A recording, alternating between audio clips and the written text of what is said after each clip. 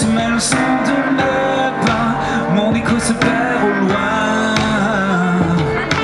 Encore, tu dessines à l'encre nos corps, sur l'horizon qui nous dévore, tu m'appelles et tout s'en va. Le temps s'écoule et je t'attends là dans cette foule.